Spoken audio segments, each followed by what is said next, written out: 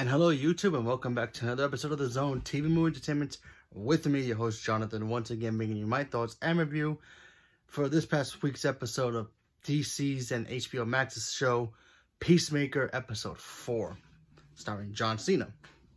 Now, in this episode, we get to see the, I guess, the aftermath of what happened with Project Butterfly. Now, if you don't know, Project Butterfly apparently is the task force's new mission to infiltrate um, a bunch of these like pixie fairy type creatures that are taking over people's minds and bodies and basically controlling them for their own personal gain.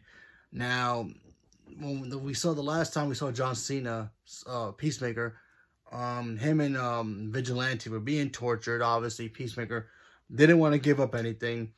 And then obviously they get saved by the team. They get they escape and now they're basically trying to figure out a new game plan. While that's happening, also Peacemaker decides he needs to figure out how to get his father out of prison after the team pretty much framed him for Peacemaker's crime. Now, granted, Peacemaker was being attacked by an alien, but you know the government and the police won't won't won't don't know that yet. They don't know that kind of information. They want they need to keep it under wraps.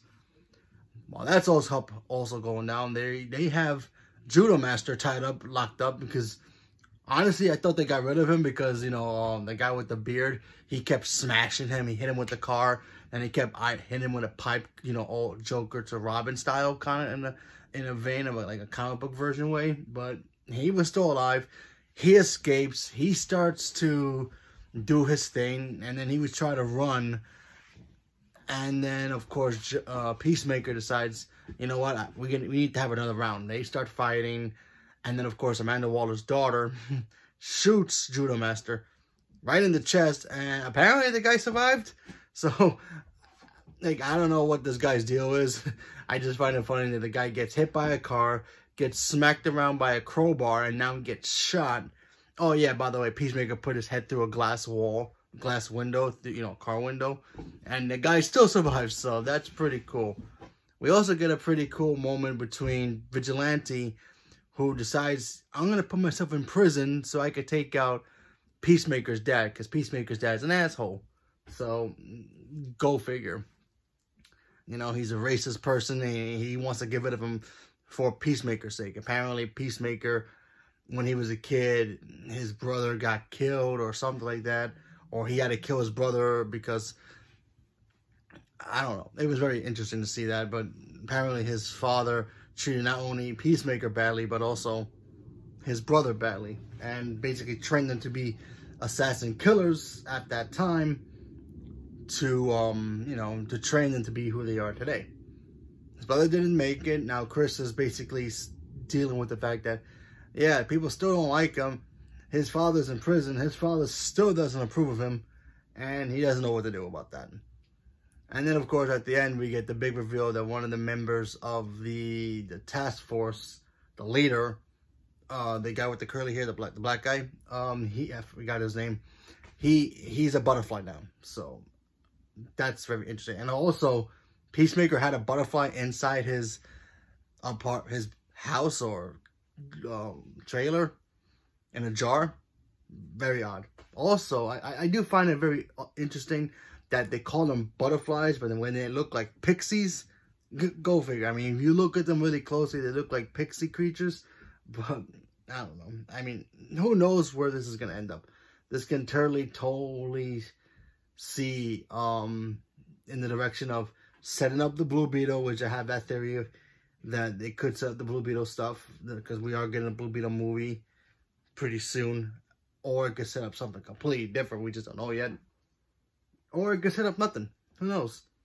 Oh, we also get to see uh, Peacemaker's dad's armor suit. Apparently, he was he's a white dragon from the comic books. I don't know too much about the character. All I know he's a, a racist character, and he has like this white armor ironmonger looking suit. Very cool looking. It, it looked really, really cool. You know, the, the armor when you see it in, in the background, that dimensional closet that he has. Because Peacemaker goes in there to take some helmets and equipment out of there. So it was cool to see the armor and how comic book accurate it was. Um, but yeah, good episode. listen, I, I, think this show is great so far. I feel like James Gunn really knows how to make these characters cool and us as the audience caring about them. I thought he, I think he does a really good job with these characters a lot. And I'm having a good time with it.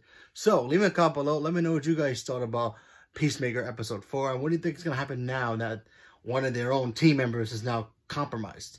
You think they're going to find out right away? You think they're going to be surprised when they find out? What do you think is going to happen? And also, Amanda Waller's daughter is kind of like doing her own secret mission because you know how Amanda Waller, she always has that, oh yeah, here's the main mission, but I want you to make sure you do your own mission.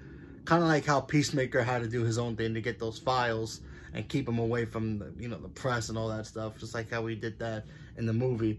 So what do you think she's up to? You think she's up to no good? Because she's still having doubts about being a killer and shooting people, but I, I think it's all an act.